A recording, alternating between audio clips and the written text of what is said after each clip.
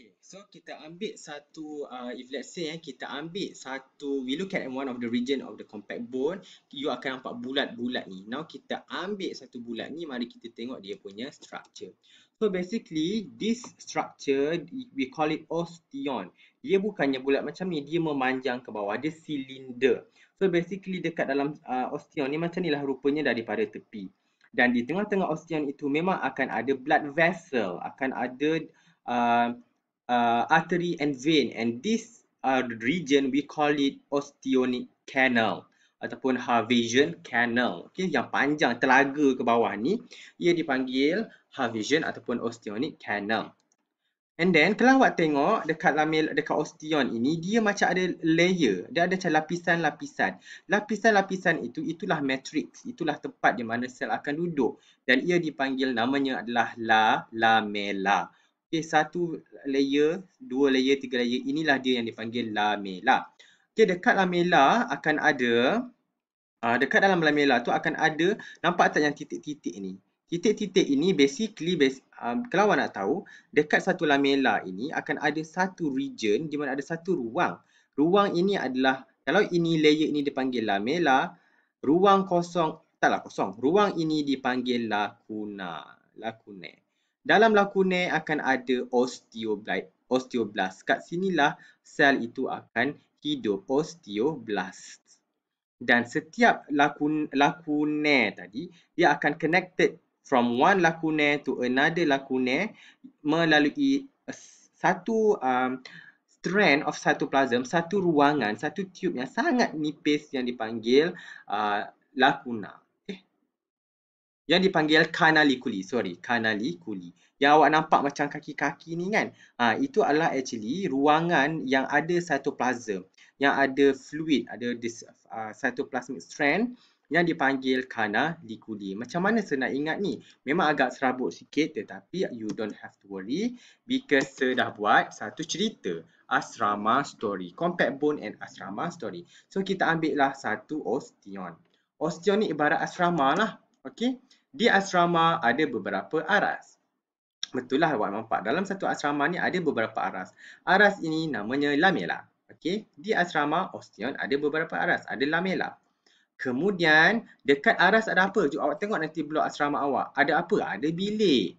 Betul tak? Dalam bilik ada uh, dalam uh, dalam aras ada bilik. Okey, bilik itu namanya lah kuning. Dalam bilik ada apa? Ada orang lah ada makhluk dan in this case dalam lakune ada cells yang dipanggil osteo osteoblasts.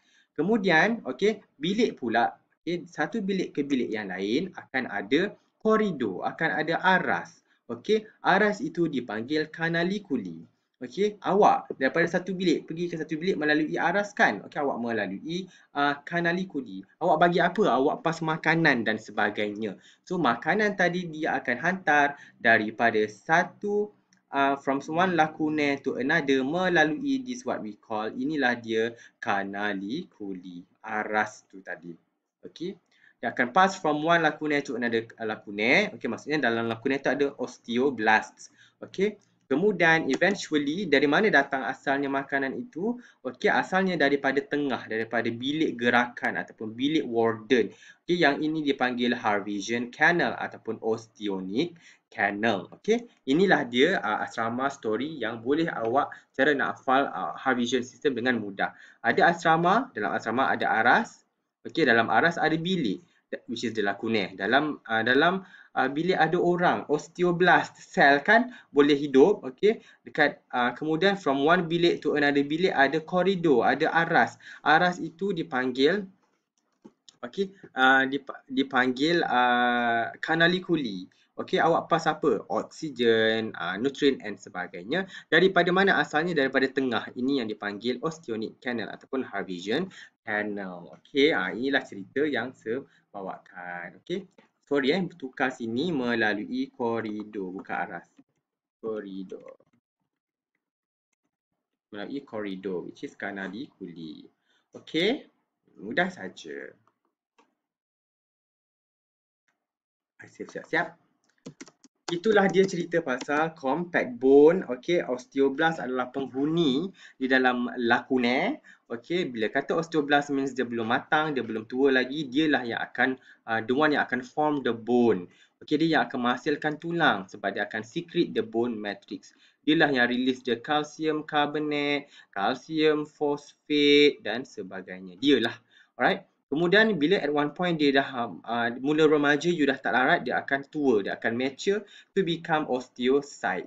Dia yang akan maintain the bone matrix. Tetapi dia dah tak buat dah. Dia hanya maintain saja. Yang akan buat all the perkara ni adalah yang lebih muda, osteoblast tadi. Osteocyte ni dia hanya maintain sahaja the bone structures lah. Okay. Inilah dia rupa tulang yang tulang ayam yang kereh awak nak gigit tu. Okay. Dan function dia ini awak boleh baca sendiri dah nama pun tulang very important untuk body shape and support. Ada orang yang badan dia besar, badan dia kecil macam sebadan sekecil. Maksudnya tulang se tu taklah besar sangat. Okey, tetapi yang paling penting kita semua alhamdulillah eh, boleh berjalan, Okey dan contohnya tulang uh, apa ni awak punya tulang rusuk tu penting sebab dia nak protect jantung, protect paru-paru, protect awak punya uh, thyroid dan sebagainya. Itulah pentingnya protection of internal organs dan macam awak punya tulang kepala ni uh, tulang uh, skull ni apa ni bahasa Melayu tulang I tak tahu lah nama tu. Sorry, saya tak ingat tulang uh, skull in Malay. Okey, ha, ni. Ini awak punya kat kepala tu, macam mana otak awak boleh terprotected sebab adanya tempurung. Yes, tempurung kepala. Bukan kelapa eh. Tempurung kepala itu yang akan protect the brain. Okey, dan tulang juga adalah, nah ini yang saya nak cakap. Kalau bila awak belah ayam kan, kalau awak fresh, awak beli ayam, betul awak tiba-tiba awak ambil drumstick tu, awak patah dua, awak tengok tengah dia tu. Okey, ini dekat drumstick tu kan. Sorry.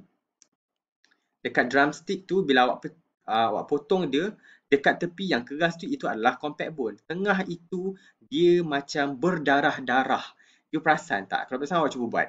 Okey, tulang sumsum -sum itu. Kalau awak goreng dihitam lah sebab masak lah kan darah tu. Basically itulah asal usul segala darah. Darah itu ia diperbuat di dalam tulang itu at the spongy bone layers. So dia adalah site for the red blood cell ataupun all bloods are originated from the bone. Okey ah segala tulang itu memang sangat memainkan peranan dalam menghasilkan darah lah. Dan disebabkan tulang itu banyak kalsium fosfat kalsium hydroxy acid eh, epithet apatah namanya kan cuba tengok sendiri and and calcium carbonate jadi jadi dia banyak sangat kalsium dia adalah tempat simpanan kalsium. Dan dia juga adalah attachment site for skeletal muscle sepatutnya terletaknya terikatnya biceps uh, uh, bicep pectoralis major semua terletak dekat tulang dan penting untuk uh, homeostasis lah sebab dia ada kalsium. Okay, kalau increase in uh, uh, low in calcium, jadi tulang akan menghasilkan banyak lagi kalsium supaya kalsium tadi akan back to normal lah. Okay, itu adalah function compact bone. Seterusnya, okay, bila awak makan ni, ni my favorite ni KFC ni, somehow pernah tak tiba-tiba macam tergigit di tulang yang warna putih ni. Tapi dia bukan tulang. Tapi dia lembik, dia lembut. Kalau tulang kita gigit gigi kita yang sakit kan. Tapi this this uh, rawan ni bila kita gigit kita boleh boleh makan. Ini adalah tulang rawan ataupun dikenali dalam bahasa Inggeris cartilage. Okay hyaline cartilage, cartilage. Tetapi kita akan belajar hyaline. Cartilage ni dia ada berapa jenis? Ada tiga jenis yang kita belajar adalah hyaline. The one yang dekat lutut dan sebagainya. Okey, berbanding dengan tulang uh, tulang compact bone tadi, untuk cartilage tulang rawan, cuba awak picit telinga awak. Okey, dia lembik kan? So dia adalah elastik. Dia sangat elastik dan dia bergetah connective tissue. Berbanding dengan bone tadi dia sangat keras. Kenapa? Because matrix tadi diperbuat daripada chondroitin sulfate. Kalau tulang, dia diperbuat daripada kalsium, um, fosfat, kalsium carbonate. Kalsium as I said, dia punya ciri adalah mengeraskan. Tetapi this one, in this case, dia tidak ada kalsium. In fact, dia ada collagen memang banyak sangat collagen. Collagen ni itulah yang menganjalkan. That's why this uh, hyaline cartilage dia tidak dia tidak keras langsung. Dia diperbuat daripada chondroitin sulfate. And dia punya matrix dia dipanggil chondrin. Kalau dalam bone tadi, dia punya matrix dia ada dipanggil lamella. Aras itu layer by layer tadi, sorry. Layer by layer itu itu dipanggil uh, lamella itu adalah matrix tempat duduk. Tetapi untuk dalam hyaline cartilage dia adalah chondrin dan dalam chondrin ada chondrin sulfate. Dan cells yang akan menghasilkan chondrin sulfate ini the one yang live in the cartilage kalau dalam bone tadi osteo means tulang cell blast. In this case untuk uh, cartilage dia bukan osteo tetapi dia perkataan dia con chondro. Okay, chondro ini merujuk kepada cartilage. That's why namanya chondroitin sulfate, chondrin matrix. So, sel yang akan menghasilkan uh, chondroitin sulfate ini adalah chondro apa? Chondro tambahlah. Tambahlah blast dekat ujung. Chondro blast. Tak perlu pun awak nak hafal chondro blast, osteoblast. Tidak. Awak hanya perlu tahu. Cartilage. Oh, cartilage. Dia adalah chondro. Oh, sel yang menghasilkan cartilage yang hidup dekat cartilage. Blast. Chondro chondroblast ataupun namanya cartilage cells. Okay. Chondroitin it gives elastic properties and uh, sama juga sel itu ditemui dalam lakunae. Lakunae ni adalah dalam bilik. Okay, dalam ruangan. Okay. So kalau kita tengok structure eh, uh, apa yang membezakan chondroblast dengan sorry, uh, membezakan chondroblast and chondrocytes. Chondroblast ia ditemui di dalam uh, dia tidak ditemui di dalam uh, lakunae dia ditemui di dalam uh, matrix itu sendiri. Tetapi once dia masuk dalam lakunae, dia become, dia mature, dia tua lah. Ibaratnya masa awak muda, awak huha-huha dekat luar. Bila dah tua, awak dah tak larat, awak masuk dekat dalam rumah orang tua. Rumah orang tua itu adalah lakunae. Dan bila dah tua means dia dah mature, dia bertukar lah. Daripada blast, dia become site. Chondroblast, dia become chondrocytes. Okay, itu yang membezakan chondroblast and chondrocyte. Chondroblast dia berada di dalam matrix. Chondrocyte dia berada di dalam lakunae. Tetapi lakunae is still dalam matrix lah. Cuma dia uh, memisahkan uh, the uh, chondrocyte daripada matrix. Okay. Dan uh, sama juga macam hyaline cartilage pernah tahu gigit tulang rawan tu tiba-tiba keluar darah? Tak ada kan? Maksudnya dia tidak ada, there is no blood vessels. Memang tak ada blood vessels. Cumanya dia ada lapisan luar yang dipanggil perichondrium. Peri means tepi. Okey, atas sekali. Okey, di tepi-tepi ini ada perichondrium. Tepat di sinilah di mana the chondroblast akan dihasilkan. Chondroblast tadi dia banyak dalam ni, kemudian dia akan dikeluarkan daripada perichondrium masuk ke dalam matrix chondroitin sulfate tadi. After that, bila dia dah puas enjoy dekat luar, kat matrix dia masuklah ke dalam lacunae. Bila dia masuk dalam lacunae, dia automatic dah become tua. Jadi from chondroblast, dia become chondro, chondrocytes. Okay. Cuma lacunae berbanding dengan uh, lacunae dalam uh, cartilage tadi berbanding dengan tulang dia tidak ada dia tak connected. Kalau dalam uh, tulang tadi dia connected by canaliculi. Okay, tetapi in this case lakunya dia memang sebiji-sebiji very independent. Dia tidak berconnected macam dalam tulang sebentar tadi. Kalau awak tengok sini kan. Okay, lakunya ni okay, dia connected from one from one lacunae to another. Okay, from one lacunae ni dia attach dengan another lacunae through this canaliculi. Tetapi dalam chondroblast, dalam dalam hyaline cartilage dia tidak connected. Dia single, dia seorang seorang and function dia dia berada dekat uh, hujung tulang lutut memang important dia untuk protection flexible support. Kalau tak ada tulang yang akan tak ada cartilage yang membaliti tulang ini, memang bila tu bila kita nak melipat kaki memang akan bila kita berdiri, memang dia akan tolak dengan bone ni memang menyebabkan kesakitan. Jadi untuk mengurangkan kesakitan that's why adanya hyaline cartilage lah. Ia juga berada dekat kita punya telinga at the tip of the nose, okay? Ujung awak punya ni ini adalah tulang rawan. Okay, that's why dia boleh bergerakkan, okay?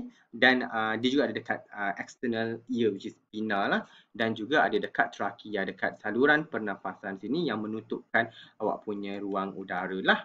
Ini adalah perbezaan antara compact bone dan juga hyaline cartilage yang, sorry, ini adalah perbezaan hyaline cartilage dan compact bone yang saya dah explain actually sebentar tadi.